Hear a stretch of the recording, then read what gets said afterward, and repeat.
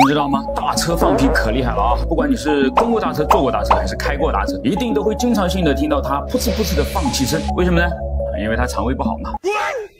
是因为它的刹车是要用到气的。对了啊，跟小车使用的液压制动不同，大车通常用的都是空气制动。咦，原因到底是什么？听我解释啊，归根到底就一点安全。液压制动有一个巨大的局限，那就是一旦系统出现泄漏，就可能会导致其完全失去制动力。这对于大车而言是灾难性的风险啊！刹车失灵可能会导致毁灭性的事故。但是对于小车来说，其重量不过就两三吨，本身对刹车的负载就不大，就算是刹车失效所面临的风险和后果。都算是可控的，所以用液压制动就足够了。但是对于大车，尤其是那些轻轻松松就能够拉个几十上百吨的货的大车来说呢，其实刹车系统就必须要克服这样的局限。气刹系统就是设计用来克服这种潜在的故障的。不同于使用液压的液压制动，气刹依赖的是压缩空气来操作的。这根本区别就提供了几个对重型车辆至关重要的优势。首先，气刹它是故障保护型的，它通过两套制动系统来配合工作，一个叫做紧。急制动器或者叫做停车制动器，另外一个叫做常规制动器。如果发生空气泄漏，紧急制动器会自动启动，把卡车直接给刹停了，避免了危险。哎，那它是怎么做到的呢？原来啊，是弹簧跟空气玩了一个平衡的游戏。在正常行驶时，制动室内的压缩空气会平衡弹簧的压力，使刹车保持在松开状态。而当气压系统失效或者是出现泄漏时，例如气泵故障或管道破裂，弹簧就失去了气压的平衡，会自动压紧。是不是很简单？但是又很有效呢。好，接下来让我们来完整的看一看这整个系统是如何运作的啊。气刹系统的主要组件包括空气压缩机、储气罐、制动室和控制气流的各种阀门和管路。整个过程始于空气压缩机，它由卡车的发动机来驱动，负责将空气加压，并将其送入到储气罐中储存，直到需要时使用。这些储气罐至关重要啊，因为它们储存了足够多的压缩空气，即使压缩机暂时停止工作了，也能够多次施加制动。这种冗余设计是。是另外一个安全特性的体现吗？确保即使在压缩机出现故障时，卡车也能够停得住。当司机踩下制动踏板时，储气罐当中的空气会释放到制动管路当中，进入到位于每个车轮的制动室。在每个制动室的内部有一个隔膜或者是活塞，当施加空气压力时，它会推动与制动机构相连的推杆，使刹车片与刹车鼓或者是刹车盘接触，产生摩擦，减慢卡车的速度。制动力的大小与施加的空气压力成正比，司机因此就可以控制所需的制动力。力度了，气刹系统还有一个独特之处，叫做双回路系统。大多数卡车都有两个独立的气路，每个回路控制不同组的制动器。这种设计啊，确保即使一个回路失效，另外一个仍然能够工作，给剩余的车轮提供制动力，让卡车也能够停得下来。哎，你看啊，这种双回路系统是不是又是其他系统当中的一个安全层呢？进一步为停下这些庞然大物提供了有力的保障。呃，下一个重要的东西就是空气干燥器了，它也是气刹系统当中的关键。组件之一，呃，空气压缩机从环境当中吸入空气时，也会带入水分。如果不加控制，这些水分可能会在刹车管路和罐子当中凝结，导致寒冷天气中的结冰或腐蚀等问题。空气干燥器在压缩空气进入到储气罐之前，会去除其中的水分，从而防止这些问题，确保制动系统在各种天气条件下都能够可靠的工作。安全阀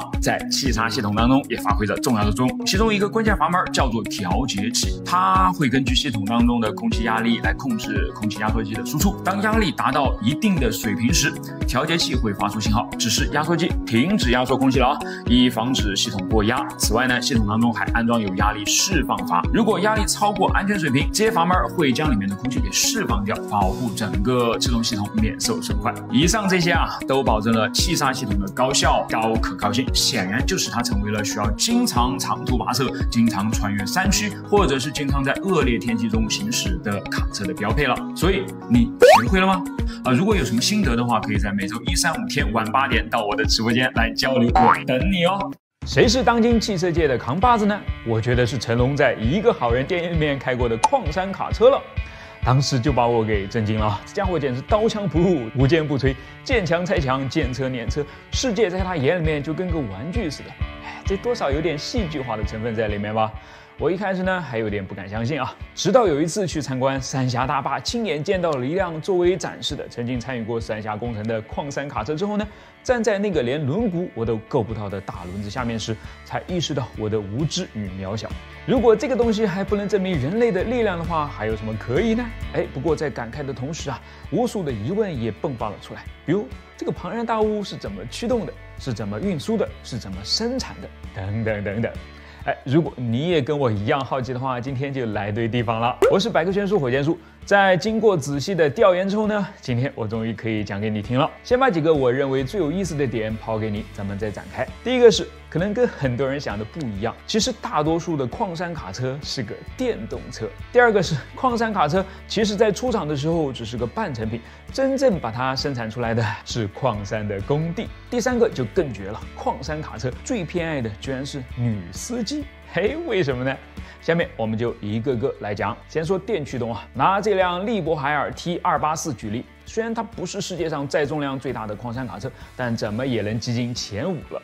它宽九点六八米，高八点三米，长十五点七米，一共装着六个直径达到四米的轮子，每个的重量呢都超过了五吨，整车加起来更是重达两百三十七吨。作为对比啊，我国最先进的九九 A 主战坦克也不过就重五十多吨而已。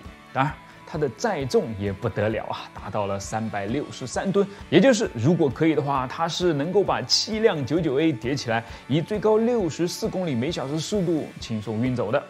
所以这么看起来，它一定要有一颗超级强悍的心脏才行啊！哎，没错，装在这个怪物核心的是一台排量九十升的 V 二零柴油发动机了，加一次油就要干掉五千三百五十一升，不过只能供它连续开上十几个小时而已，足够强悍了吧？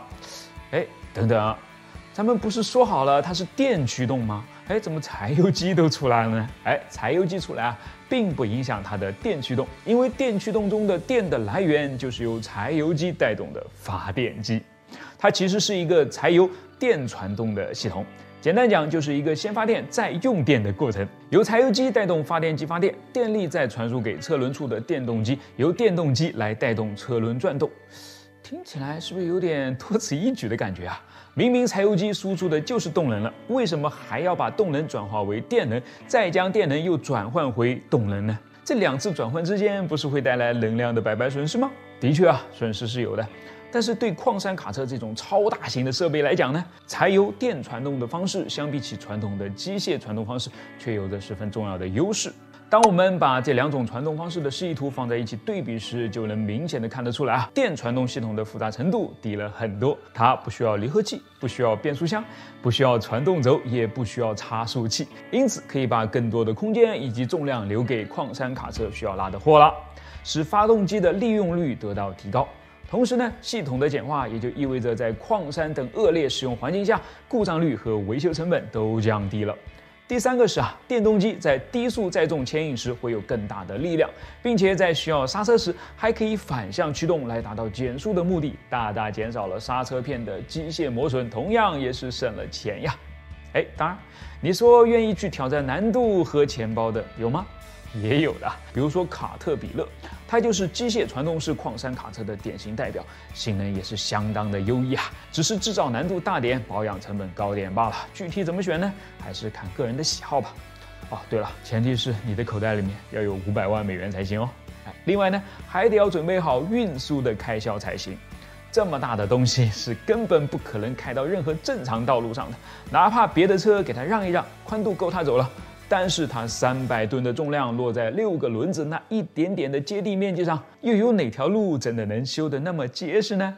所以啊，虽然它自己就是一辆运输车，但是当它要去执行运输任务时，是首先要被别的运输车给运输过去的，而且呢，还是拆开来运输的。或者更直接点讲，就是它在出厂的时候只是个半成品，你买回去之后呢，需要对着说明书用吊车把它给拼装起来的。拿卡特彼勒七九七举例啊，通常情况下，它都是被分成七个部分运输到目的地的。车架装一辆，驾驶平台装一辆，柴油机装一辆，那个巨大的翻斗再装一辆。哎，既麻烦又花钱。要当他的车主啊，你不仅要有钱，还得要有足够的耐心才行啊。在这个世界上，只有一家公司敢提供 One Piece，也就是整体运输的服务，它叫做马姆特，是一家荷兰的大件运输公司。所以拥有非常丰富的运载平台。但是为了运输单个重量就达到三百吨的矿山卡车时，它也是使出了吃奶的劲儿的，将两辆长三十二米、各带二十二根可以独立转向的轴，每根轴上又穿着八个轮胎的拖车并联在一起，才能够完成任务。大家可以帮我算一算啊，这下面一共装了多少个轮胎呢？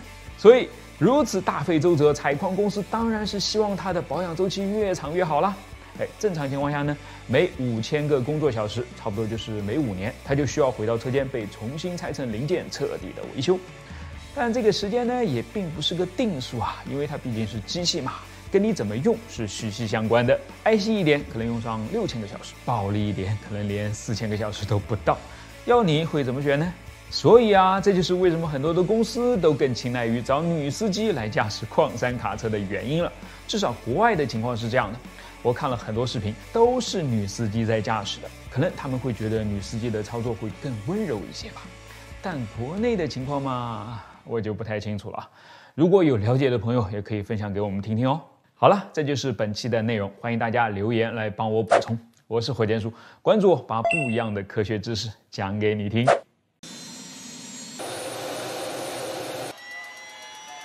把飞机发动机装汽车上极其罕见，那么反过来把汽车发动机装飞机上也很罕见吗？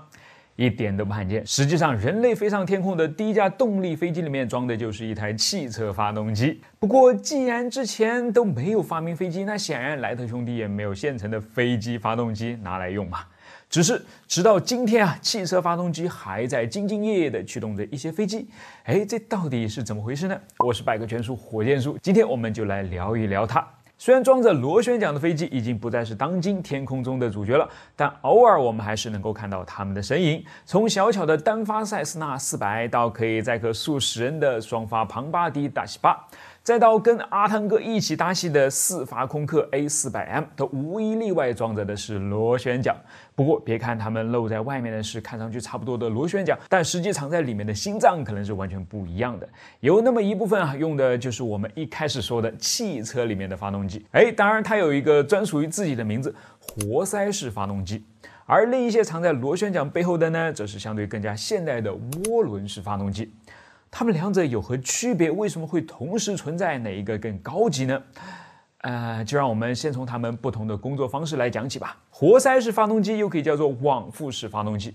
为什么呢？因为它靠把活塞的往复运动转变为旋转运动来为螺旋桨提供动力的。它的工作方式跟汽车发动机的工作方式真的几乎就一模一样，也是依次排开几个气缸，在这些气缸当中，燃料和空气被混合、被压缩、被点燃，然后爆炸膨胀的气体推动活塞往里面运动，活塞又连着曲轴，于是曲轴就在活塞这样里里外外的往复运动下旋转了起来，最后把旋转的运动就传递到了连接着它的螺旋桨了。你看，连冲程都是一样的，也是四个：吸气、压缩、点火和排气。汽车跟它最大的区别，大概就是这一通操作之后连着的是轮子而已。哎，不对，还有区别，气缸的排列方式。相对于汽车发动机里面大多比较无聊的排成一列外，在飞机上气缸显得是有点放飞自我了啊。比如围成一圈，甚至两圈，一前一后交错开来，一共排下十四个缸。所以 V 八算什么？看看人家这个圈十四才够厉害啊！当然，我猜大家应该都能够叫出它的名字啊，新型发动机。但是你知道吗？更奇葩的其实是它的上一代，虽然也差不多是这样的排列，但名字却叫做旋转式发动机。为什么叫做旋转式呢？哎，这段视频可以很好的解释这一切。没错，它的气缸是跟着螺旋桨一起同步旋转的，恨不得把自己甩出去似的。所以呀，由于越大的质量在旋转起来之后都会产生越大的离心力，为了不让自己分崩离析，旋转式发动机势必不能做得太大，也就势必不能提供足够的动力，没有成为主流被我们熟悉也是很自然的了。当然，活塞式发动机也不光是有这样围成一圈的模样，也有排成一列的。比如著名的 P 五一野马头上装着的并列十二缸 V 型梅林发动机了。只不过由于接不住迎面吹过来的风，它需要另外的水冷来降温，体积和重量上会比新型更大。但你应该也已经看出来了，这样它就不需要长出一个大头，会显得更加的流线一些。至于从审美角度来看嘛，你们发表一下意见呗。好了，以上大概就是活塞式发动机的介绍了。接着我们再来看看涡轮式发动机。其实，在这儿呢，把它说全一点，应该叫做涡轮螺旋桨发动机，简称涡桨发动机。它的工作原理又跟我们也非常熟悉的喷气式客机的发动机非常类似了，因为那个叫做涡轮风扇发动机。看明白了没？就是把喷气式客机发动机前面的大风扇换成螺旋桨就可以了。我们依然来看看它的工作方式。跟之前的四冲程活塞循环相似啊，涡轮发动机产生推力的过程也可以分成四个阶段：进气、压缩、燃烧和喷气。而不同之处在于，它是发生在发动机的不同部分的。首先，空气从发动机前面吸入，然后它们会通过一系列的压缩机叶片，最终形成压缩空气，被送进燃烧室。在这里，它们会跟喷出的燃料混合后点燃，形成快速膨胀的高温气体，从发动机尾部猛烈的喷出，并于此过程中被迫推动后面的涡轮叶片，连着涡轮叶片的轴于是旋转了起来，并把这样的旋转往前传递，送给了压缩机，让这个吸气、压缩、燃烧、喷气的过程完美的循环了起来，也送给了螺旋桨。让螺旋桨旋转起来，推动飞机飞上了高空。所以现在就出现了一个问题啊，既然目的只是让螺旋桨旋转起来，那么为什么有的飞机装的是活塞式发动机，而有的飞机装的却是涡轮式发动机呢？让我们分成几个方面来说：可靠性、经济性和适用性。先来说可靠性，这个涡轮式发动机简直占尽了优势。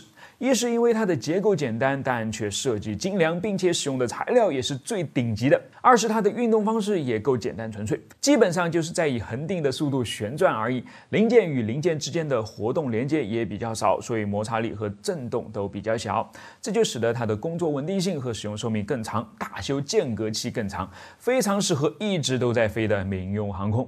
但是，对了，凡事都有但是。由于它的集成化程度很高，所以在操作上的限制也就很多，对错误操作的容忍度比较低，通常就必须要搭配自动控制系统，所以价格肯定是没有优势的。另外一个比较麻烦的是啊，虽然它很可靠，但免不了还是可能会出现故障，而一旦出现故障，维修起来就非常麻烦了，需要有极高的专业度，并可能用上很多专用的工具。所以，通常航空公司遇到这个问题的解决方法都是。还不如把整个发动机都换掉吧。而活塞式发动机正好相反，由于零件众多，致使发生故障的概率也就相应的增加了。同时，在工作冲程的每一个阶段啊，气缸内的压力都是在不断变化的，加上活塞运动时不断产生的震动，都对可靠性和使用寿命不太友好。这就要求，要是你开的是活塞式发动机的飞机的话，你最好也是个机修能手。不过幸好它修起来既简单也便宜。另外，就像开手动挡的汽车一样，它对错误操作的容忍度会更高。要不要选自动控制嘛？主要就在于你愿不愿意掏这个钱了，因为它只是一个选配而已。说完了可靠性，我们再来看看价格。很显然，这个是活塞式的优势项目了，因为它的工作环境相对比较温和，对材料的要求不是那么高，而且其中很多零件甚至还是可以跨界使用的，所以整体价格自然就更实惠。涡轮式呢，相反，工作环境极端，对材料和工艺的要求都极高，零件通用性不高，都把价格推了上去。另外啊，还记得我们刚才说到过的，涡轮式发动机还得要搭配自动控制系统一起工作才行，这无意中又帮它增加了一部分售价。所以整体来看啊，哪怕是驱动型号相近的飞机，装着涡轮发动机的那架呢，都会远贵于装着活塞式发动机的那架。这样说起来，装涡轮式发动机的那架是不是也更高级一些呢？哎，也不一定啊。也要看它用在什么样的地方，也就是它们的适应性了。对于飞行高度和飞行速度没有太高要求的小型飞机来说，活塞式发动机是最好的选择。此时它具有非常优秀的燃油经济性。哦，对了，活塞式由于工作特点的原因，在油门响应时间上会更快一些，所以一些特技表演机也会装上活塞式发动机的。那么中大型飞机肯定就是涡轮式发动机的天下了。它由于本身会压缩空气，所以可以飞上更高、空气更加稀薄的高空当中，因此遇到的空气阻力也更低，飞得也就更快了。好了，现在我们终于可以回答一开始的那个问题了：它俩为何同时存在？很简单啊，因为舞台同时存在，所以最后啊，我就祝大家在各自的舞台上尽情展现，早日喜提私人飞机。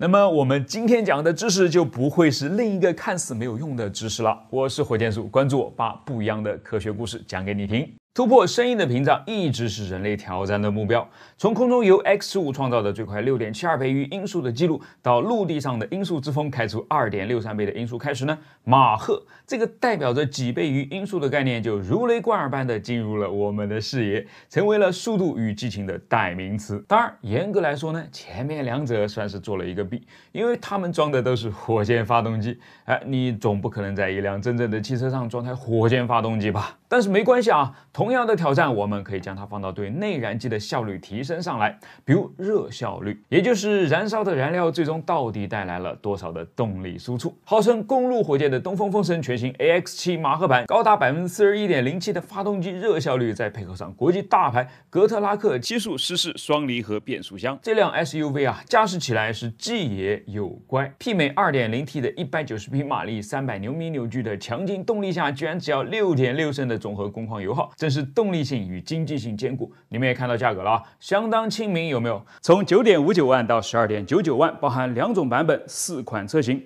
呃，分别是一点五 T 涡轮增压发动机版本和马赫动力一点五 T 直喷涡轮增压发动机版本。那咱们就来盘一盘，看看它的性价比到底有多高。首先，凭什么它能够叫公路火箭呢？哎。当然是源于其搭载的马赫动力 1.5T 发动机所赋予的澎湃动力了。接着呢，绕车一圈，我只看到了一个字：美。风暴数字式格栅，锋刃贯穿式尾灯，风舞之魂光学大灯，十九寸疾风战斧轮毂，将设计语言暴力美学 啊，错了，是风暴美学诠释的淋漓尽致，简直又潮又雅。呃，我已经把持不住要拉开车门了。坐进驾驶舱，全液晶仪表和中控超清大屏都是十二点三寸，加上璀璨星盘、氛围灯，有一种太空座舱的感觉。而且啊，你还可以唱着歌上太空哦！雷石车载 KTV 搭配丹麦尊宝音响，让你时刻都能感受一场音乐盛宴。既然都说到车主了，那咱们得体验一下 AX7 马赫版那能够自动学习和匹配我们驾驶习惯的 i 驾区智能 ECU 了。它可以让车辆始终保持在最佳的使用状态。WendLink 六点零智能车机系统让客户轻松控车。你好，风神，我在。我有点冷了，温度已调高。哎呀，这车呢真是爱不释手啊！哎，你不来试试吗？为什么同样是刹车，F1 从时速三百到车底停下来只需要四秒钟不到，而普通的汽车？对了，好像普通的汽车开不了三百，普通汽车从时速一百减到零差不多就要四秒了。而如果你不幸骑上了一辆刹车不太好的自行车，不得不靠双腿踩地来辅助它停下的话，就只能祝你好运了。事实上，我以前经常这样撞到女生。我是火箭叔，今天我们来聊一聊 F1 的刹车系统究竟如何与众不同呢？一九五一年，盘式刹车第一次出现在 F1 赛场上。一九五五年，雪铁龙第一个把它搬到了自己的量产车上面。从此以后，盘式刹车就成了我们一个无比熟悉的东西。直到现在，普通汽车上面的盘式刹车和 F1 上面的盘式刹车本质上都没有啥区别。毕竟大家都是使用同一个连小朋友都懂得的原理在工作嘛，摩擦力，卡钳夹紧，车辆减速，卡钳放松，车速恢复。所谓张弛有度，这里体现的淋漓尽致啊。不同之处在于细节，我们一个个来说。先说卡钳上面的区别，除了更大以外，你要是仔细观察的话，会发现位置也不太一样。普通汽车上卡钳的位置一般都是在刹车盘的左右两侧，大概是三点钟和九点钟的位置，而 F1 的卡钳却更往下，位于五点或者七点钟的位置。为什么要这样调整呢？因为这样能让重心变得更低，重心更低，车开起来自然更稳。你骑个时速二十公里的自行车都知道要压低身子，F1 的工程师就更是深谙此道了。那你可能会问，为什么不干脆把它放得更低，也就是六点钟的位置啊？根据我多年对直立哺乳动物进食习惯的研究，六点钟吃过饭之后，重心肯定更低啊。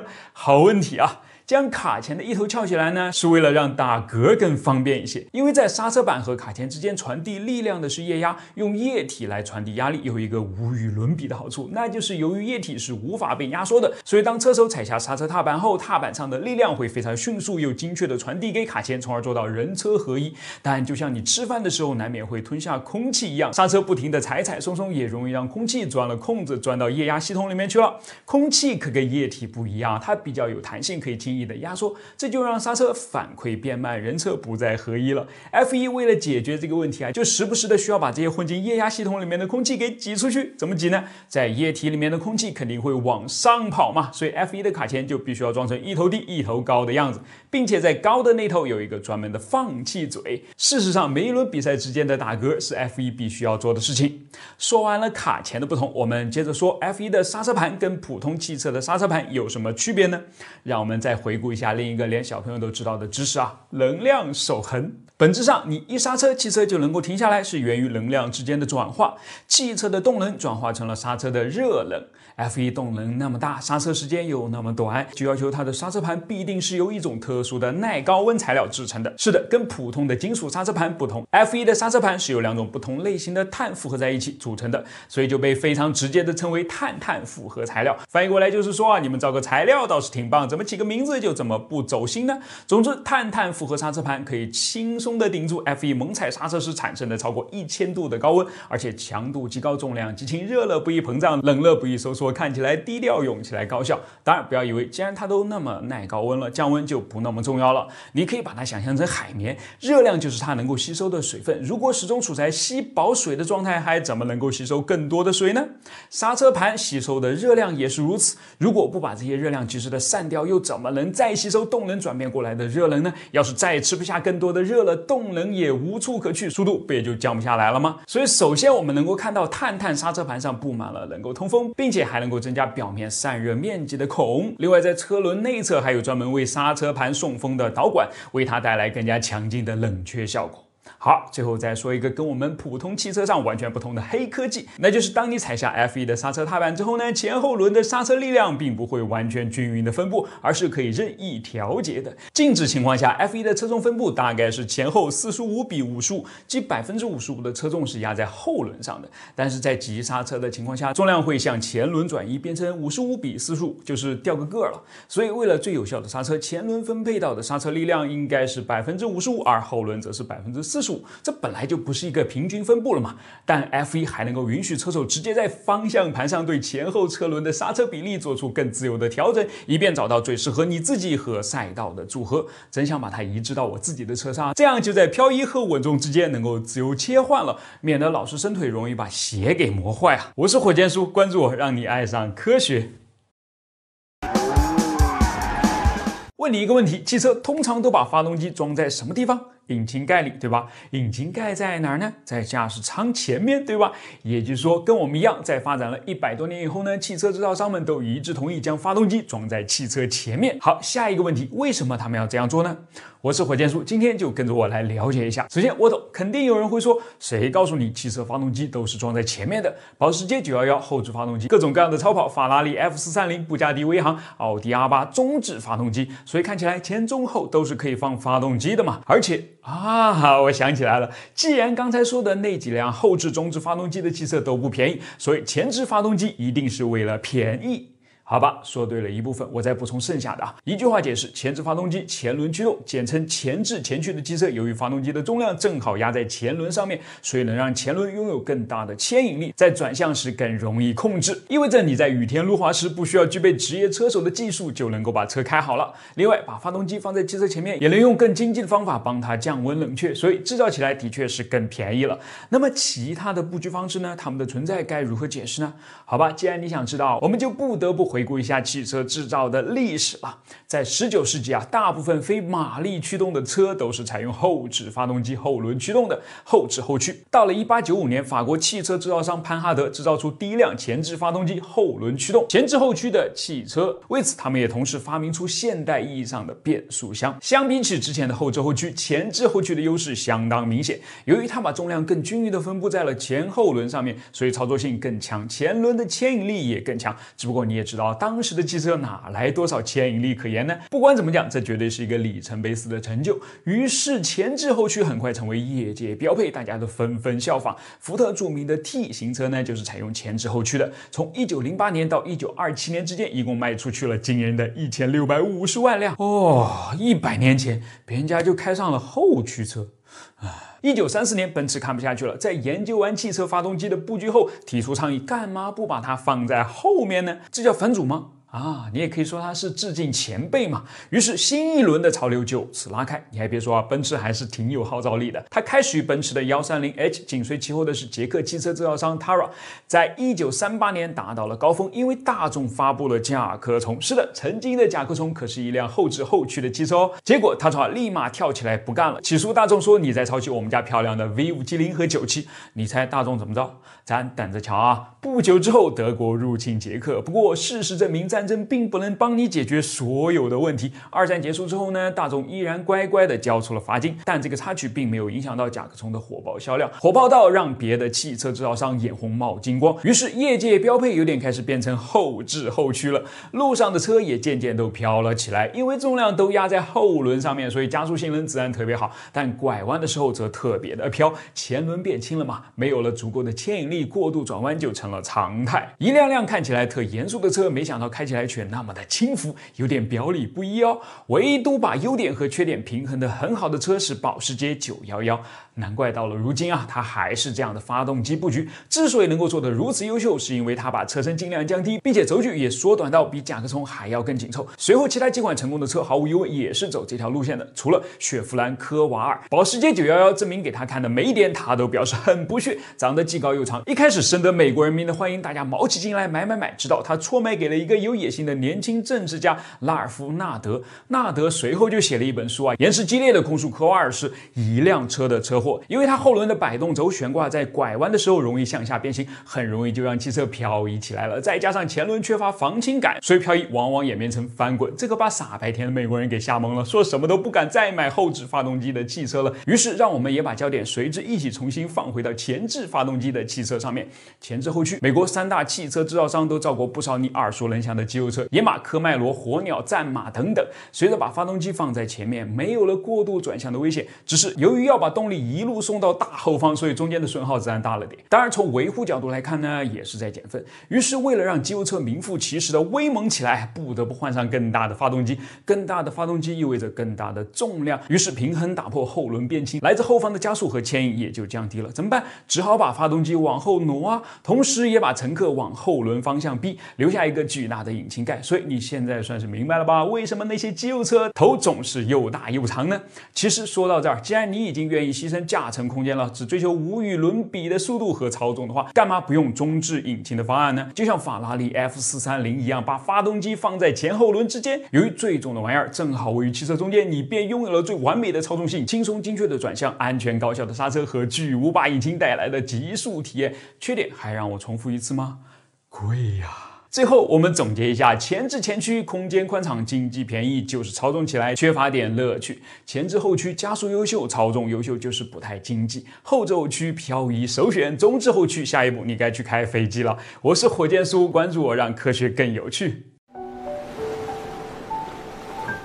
先给大家看一样获得抽奖华为笔记本电脑大奖的资格哦，谢谢大家了。通常情况下，一辆时速两百公里的 F1 从减速到停止只需要两秒多一点，开过六十五米远的距离；而一辆普通的高性能轿车呢，差一点需要四秒多才能停下来，刹车距离超过一百米。那么，一艘速度只有二十节，也就是时速差不多才三十七公里的集装箱船刹下车啊，不对，是刹下船，需要花多长时间才能停下来呢？十分钟。在停下来之前啊，会开过两公里。哎，对了，有一件事情我就很好奇了，船它靠什么来刹车呢？我是人称百科全书的火箭叔，今天我们就来研究一下这个问题。想要知道船靠什么刹车，我们首先需要知道刹车它是怎么工作的。就拿汽车的刹车来说吧，它的工作原理呢是让旋转的车轮跟某个固定的物体，通常是刹车碟片之间产生摩擦，来阻止两者的相对运动的。你可以简单的理解成啊，刹车碟片想要轮子陪自己一起静一静，两个一起进了，汽车也只好进了。那船呢，有可能采用这样的方式来刹车吗？好像不太可能呀。你想啊，轮子进了，汽车之所以能够进，是因为它不可能靠静止的轮胎在地面上滑行着前进嘛，摩擦力太大。而船呢，它没有轮子，本来就是在水面上滑行的，而且一开始为了减少水面对它造成的阻力，还专门把自己设计成了一个能够剪开水面的造型。于是，即使把它身上最接近汽车轮胎作用的螺旋桨给刹住，它照样也还是能够在惯性的作用下把自己划出一段相当可观的距离啊。这可怎么办呢？哎，我相信聪明如你们呢，一定已经想到办法了，那就是把螺旋桨反过来转。的确啊，船就是这么干的。那接下来的操作就很简单了吧？我相信就像机车有倒档一样，只需要把船挂上倒档不就好了吗？哎，其实还真没那么简单。你看人家船上是怎么挂档的，就知道这中间的区别了。后退档跟前进档一样的多。那我们就来讲讲啊。通常情况下有三种方式可以实现螺旋桨的反转。第一种就是使用可变螺距的螺旋桨，在旋转方向不变的情况下呢，它可以通过改变桨叶的角度来向不同的方向产生推力，甚至这些推力的大小也是可以通过这样的手段来调整的，非常的灵活方便。第二种呢，就是用齿轮箱了，这个跟汽车上面的齿轮箱还是非常像的。首先是可以变速，其次呢是可以反转，听起来和用起来应该都是一样简单。第三种呢，才是我要说的重点了，那就是通过让发动机反过来转，使螺旋桨反过来的。你再细细品一品啊，就能体会到这中间有多不正常了。这就相当于你要倒车入库，还得要先熄个火，然后再重新点火，还得要想个办法保证它点火之后是反着转起来的。好吧，倒呗。哎呀，一次还没有对准，再熄个火，点个火，往前开一点，再熄火，点火，倒进去。这车要真这样，还怎么开啊？我不是在怀疑船长的驾驶技术啊，只是纳闷儿，这明明有更好的方法，为什么要费力跑发动机里面求关注呢？原来。前面两个方案都是有弊端的。可变螺距的螺旋桨由于构造复杂，所以操纵系统也跟着复杂了起来。不仅造价较高，而且维护保养也很困难。再加上更厚的根部更容易发生空泡腐蚀，更粗的骨径意味着更低的效率，所以它的应用一般都被限制在了必须要强调灵活性的船上。像那些大型的远洋游轮就别想了。那装个齿轮箱总是成的吧？事实上呢，齿轮箱一般也不装在大船上，因为大型船只所使用的发动机本来转速就很慢了，完全没有必要再来一道齿轮调速，直接接上螺旋桨就能干活了。所以你看，这就是为什么大船刹车要直接动发动机了，这是权衡之后的最优解啊。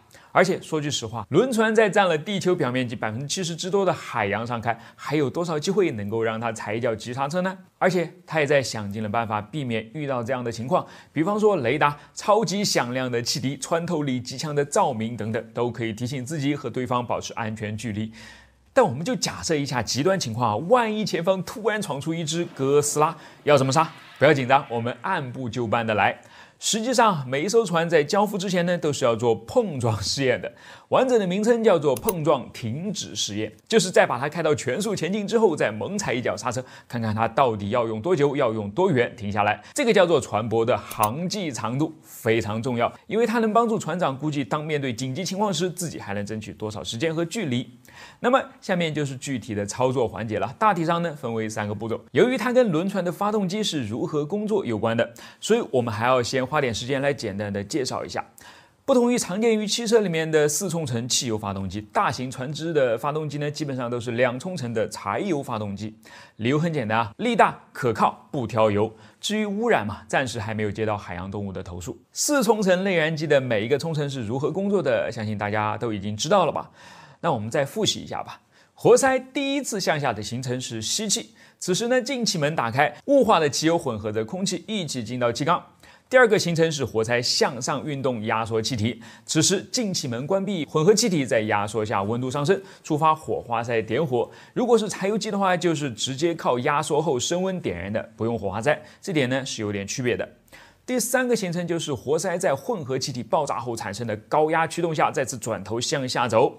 第四个行程啊，在飞轮惯性的作用下，活塞向上回到最初的位置。此时排气门就需要打开了，废气于是被排了出去。这样周而复始下去呢，发动机就能不断的把活塞的直线往复运动转变为曲轴的旋转运动了。那两冲程的船用柴油机跟这个有何区别呢？就是只要活塞上下往复运动一次，就完成了一个工作循环。具体是这么做的啊：活塞先是在柴油混合空气燃烧爆炸后的压力推动下往下运动。当扫过气缸底部的进气口之后呢，经过涡轮加压的新鲜空气随之从底部吹了进来。与此同时，气缸顶部的排气门打开，废气被吹出后再迅速关闭。接着，在飞轮提供的惯性下，活塞往上运动压缩空气。当快要到达顶部，气压和温度都足够大时，触发。发喷油，压燃混合气体，推动活塞下行，开启下一个工作循环。所以你看，喷油时机和排气时机正好是相对的。如果想要改变飞轮的旋转方向，就需要在这两个时机的安排上做点文章。而这两个时机的触发都是由凸轮机构完成的。那么结论就很明显了，可以调整的凸轮机构就是关键。好了，回到刹车的三部曲啊，我们就知道该怎么做了。第一步是切断发动机的燃油供应，虽然没有了新的爆炸做功了，但惯性依然会让活塞继续运动下去的。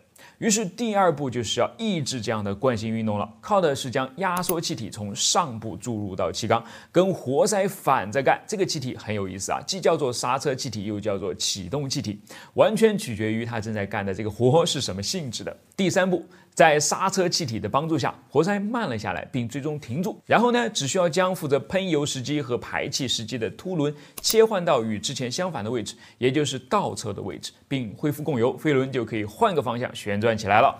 当然，反着转的螺旋桨也就能够让轮船尽快停下来了。好了，相比起来呢，还是捏一下就会停的手刹比较适合我啊。今天的视频可能稍微有点复杂，要是你没有看懂的话，哎，就多刷几遍吧。